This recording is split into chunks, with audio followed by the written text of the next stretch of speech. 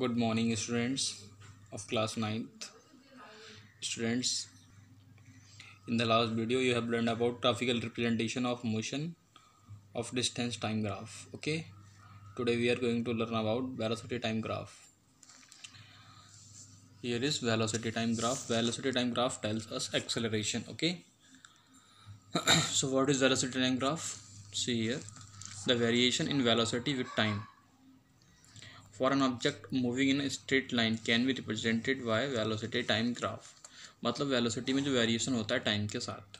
जैसे distance time graph होता था तो डिस्टेंस टाइम ग्राफ में क्या होता था?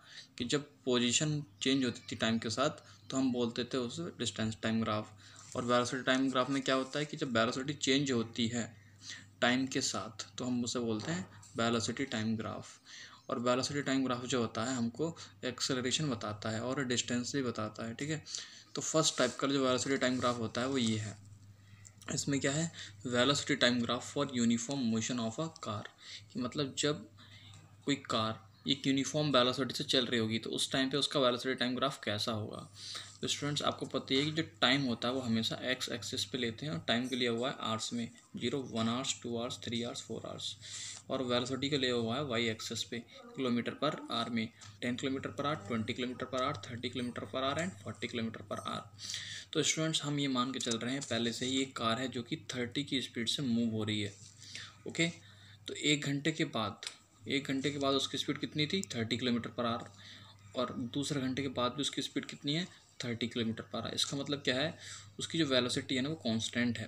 तो कांस्टेंट वेलोसिटी का ग्राफ जो बनता है, वो इस तरीके से बनता है। तो इसमें हम आराम से पता कर सकते हैं कि उसने एक घंटे से लेकर दो घंटे तक के बीच में उसने कितनी डिस्टेंस कवर करी। तो डिस्टेंस का फार्मूला आप जानते हैं वेलोसिटी इंटू टाइम होता है। वेलोसिटी कितनी है? थर्टी और टाइम हुआ एक। ओके? तो थर्टी इंटू वन थर्टी तो उसने एक घंटे से लेकर दो घंटे तक थर्टी किलोमीटर की जो है डिस्टेंस कवर की। तो ये था velocity time graph for uniform motion of a car okay? ना we will talk about velocity time graph for uniform acceleration अब हम क्या करेंगे? अब हम इसके बारे में बात करेंगे कि जो कार है, वो कांस्टेंट वेलोसिटी से मूव नहीं हो रही है, बल्कि उसकी जो वेलोसिटी है वो टाइम के साथ बढ़ रही है ओके टाइम के साथ इंक्रीज़ हो रही है। इंक्रीज़ होने को ही तो हम एक्सेलरेशन कहते हैं। तो इसका मतलब ये हुआ velocity time graph for uniform acceleration का कि ये कार है जिसकी स्पीड जिसकी वेलोसिटी टाइम के साथ बढ़ रही है ओके और यहाँ पे आप देख लीजिए इधर को टाइम बढ़ रहा है और इधर को ये स्पीड वेलोसिटी बढ़ रही है।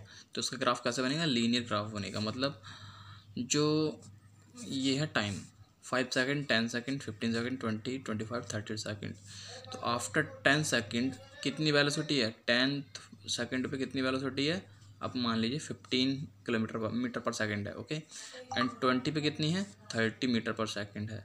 तो इसी तरीके से हम यहाँ से, हम यहाँ से यहाँ तक का डिस्टेंस निकाल सकते हैं by finding the area of these two figures okay ना अगर हमें, देखिए, अगर हमें पता करना हो कि ए से लेके ई तक उसने कितनी डिस्टेंस कवर की, या टेंथ सेकंड से लेकर ट्वेंटी सेकंड तक उसने कितनी डिस्टेंस कवर की तो इसमें ऐसे निकालते हैं एस इजिकल्स टू एस का मतलब होता है डिस्टेंस ट्रेवल्ड तो डिस्टेंस ट्रेवल्ड इजिकल्स होता है area of A B C D E A B C D E ठीक है? तो ए बी सी डी में दो आ रहे हैं। एक फ़र्स्ट ट्राइंगल आ रहा है और दूसरा रेक्टेंगल आ रहा है। ठीक है? तो area of triangle plus area of triangle तो रेक्टेंगल का एरिया होता है लेंथ इंटू ब्रेथ हमने वो वाला लगा दिया और half into base into height होता है ट्राइंगल का तो वो वाला लगा दिया okay now students we are coming on the velocity time graph for an object non uniform accelerated motion अब हम बात करेंगे कि ऑब्जेक्ट कांस्टेंट भी नहीं चल रहा है और यूनिफॉर्मली एक्सेलरेट भी नहीं कर रहा है। फिर क्या हो रहा है?